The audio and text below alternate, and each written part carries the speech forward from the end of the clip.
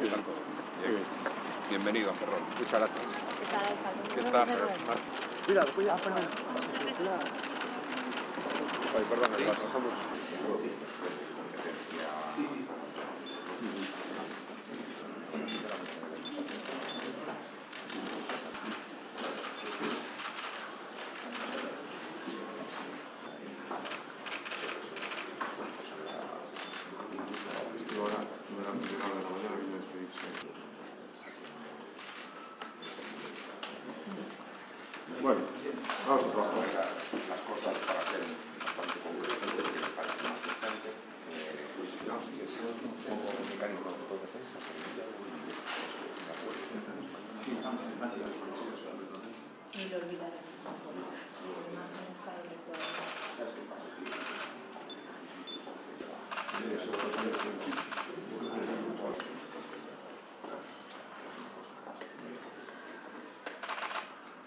mandaste un orden día que está bastante bien, entonces te parece si seguimos ese orden del día y luego hay dos o tres cosas.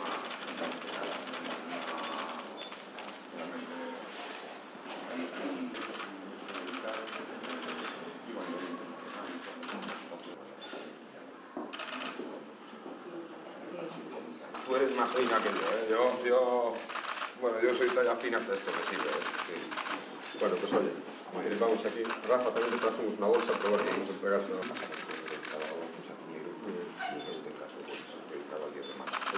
Eh, abordamos eh, cuestións que se van poñer inmediatamente en marcha. A primeira, a do saneamento. Efectivamente, hai un plantexamento da Xunta de Galicia de colaborar eh, coas cidades galegas na execución de obras de saneamento nos lugares, sobre todo nas zonas rurais, donde eh, aínda hai moitas cousas por executar, con ese plantexamento de colaboración económica 70% Xunta de Galicia 30% os concellos respectivos. Aquí en, en Ourense, certo, repasando datos dos últimos anos, digo en Ourense, perdón, en Ferrol se ten feito un, un esforzo importante por parte de todas as administracións. Eh? Son máis de 250 millóns de euros investidos en sanamento nos últimos anos, sisto de todas as administracións, provincial, municipal, estatal e tamén Xunta de Galicia, destes máis de 250 millóns, a Xunta de Galicia ten aportado 115 millóns e agora temos orzamentado para os seguintes tres anos 8,4 millóns de euros para continuar con este esforzo nese 70% o que se refería tanto ao alcalde como eu.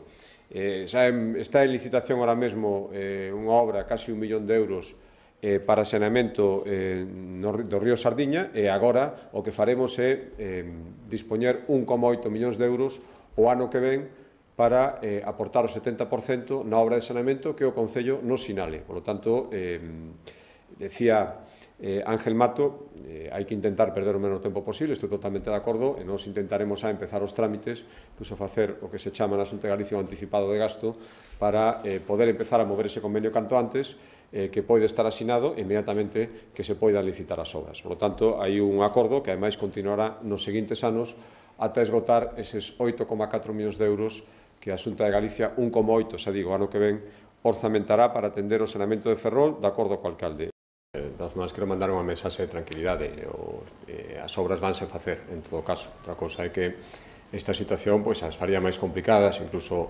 eh, referido ao alcalde a posibilidade de volver a acudir a un procedimento que na lei é excepcional, e, polo tanto, ten que estar moi acotado.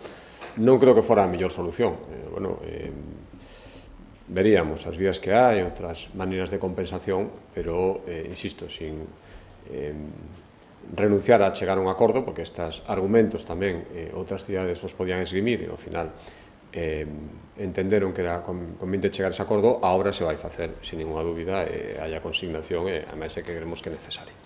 Eh, asuda moito vir cun, cun orden do día preestablecido, ben documentado, no que se pode ir avanzando, eh, coñecelo antes e eh, e poder manifestar unha postura e en moitos casos chegar a acordos, como foi nas reunións anteriores e, e como tamén foi nesta, e ora pasarei a completar o que acaba de decir o, o alcalde de Ferrol. Simplemente decir, como apuntaba, esta é a, a derradeira reunión das seis de sete alcaldes e alcaldes de cidades que estimaron 20 que era eh, bo reunirse coa Xunta de Galicia e, e chegar a acordos moitos deles executivos e, e executivos inmediatamente, porque ademais hai outra cousa eh, positiva de que sexa neste momento. Estamos en plena elaboración de orzamentos, eh, será todas as administracións, e, eh, eh, polo tanto, eh, o argumento ás veces de que hai que esperar o seguinte orzamento para, para poder ver se si nos podemos comprometer, pois neste caso, por lo menos no que refire a Xunta de Galicia, non sería válido. Estamos en plena elaboración de orzamentos, entrarán en vigor